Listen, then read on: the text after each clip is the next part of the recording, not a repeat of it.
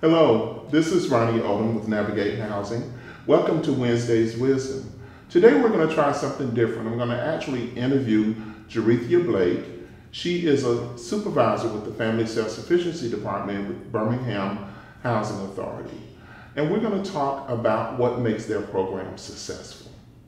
Welcome, Jerethia. Thank you for having me. Jerethia, thank you for joining us. Would you tell us a little bit about your program?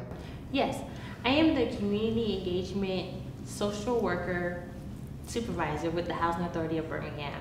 And I oversee the FSS, which stands for Family Self-Sufficiency, and the ROSS program, which is Resident Opportunity and Self-Sufficiency. I mainly focus with FSS as of now, and it's a program that is created for families who are living in public housing are receiving a Section 8 subsidy to become independent of government assistance. So what we do is we work with the residents and we create a plan based over five years. It may not take five years, it could be less than five years, or it could be more than five years. We just depends on that particular resident's goals.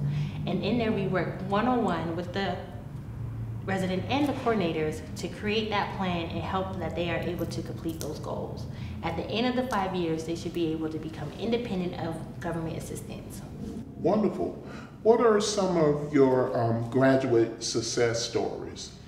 We have residents that have moved on and was able to purchase um, homes, become private homeowners. We have residents recently who use her escrow funds, which I'll tell you more about, to become um, to pay for law school. Residents were able to purchase transportation. That was a huge barrier that was helping them not being able to maintain employment, as well as just being able to pay off some debt so that they can have a better financial um, footing. That's wonderful.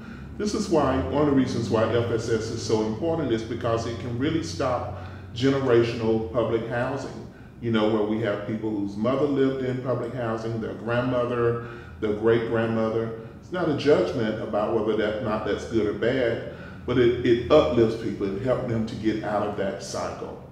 So Jerethia, would you let us know um, how your management, how your executive director and your board support your program?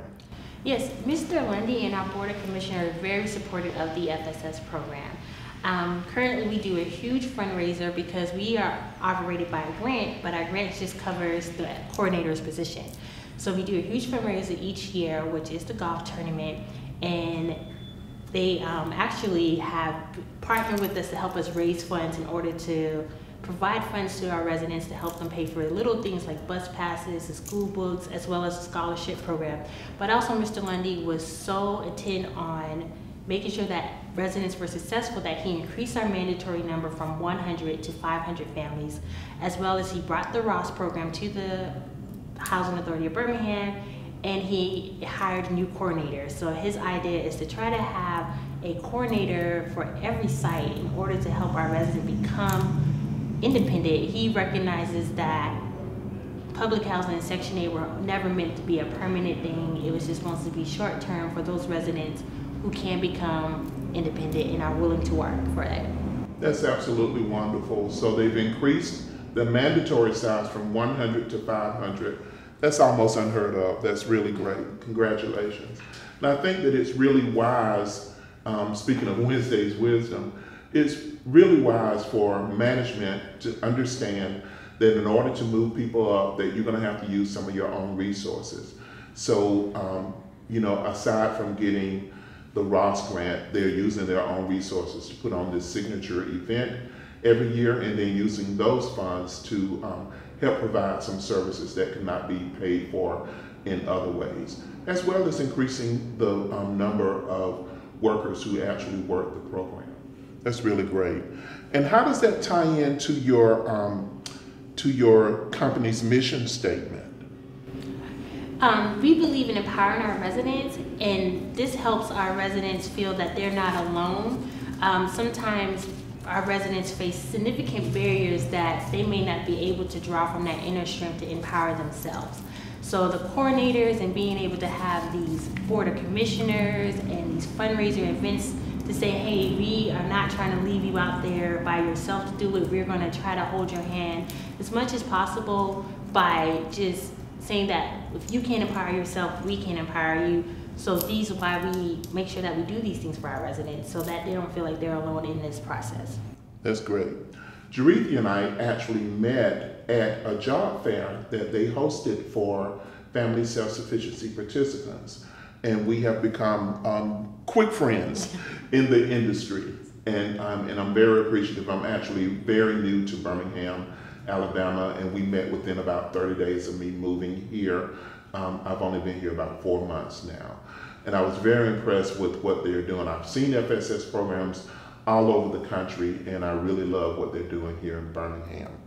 Um, Jerethia, can you tell us about some of the other events that you all put on for your residents? Yes, um, we have a job fair that we hold at least twice a year, um, one in the big spring and one in the fall. There we invite all of our residents, not just the FSS participants, but residents to come and we link up with different employees or companies here that are actually hiring and that are willing to work with our residents as well as other resources. So they can come there not only to look for a job, but as well as resources such as childcare, uh, education, and um, I will also say transportation. And then during those job fairs and up until before the job fair, we actually do workshops where we teach our residents how to prepare themselves for the job fair. So we do things as interviewing skills, we help them create their resume or update their resume, as well as this year we, um, the Housing Authority employees did a clothing drive of professional clothes where we had a closet so that our residents can even up until after the job fair, they can actually say, hey, I don't have any clothes to wear to an interview, I don't have any professional clothes for the work setting that I'm going into, so we are able to provide them clothes. Also, we do our FSS monthly meetings that are for um, FSS and Ross participants, where this month we're focusing on job um, development, but each month we have a different focus, and they are welcome to come and we invite different resources from the community to speak with our residents and tell them what services they provide and how they can be a part of that. That's great. So as you can tell, um, Birmingham has a really impressive program and and I hope that you've gotten something out of this today. We're going to put Jerethia's information on the slide as well as my information. So if you'd like to get more particulars that you can't find on the internet about their program, I'm sure she'll be glad to get an email from you and help you out. And of course, you can always reach out to me um, for more information. Thank you so much for joining us for Wednesday's Wisdom.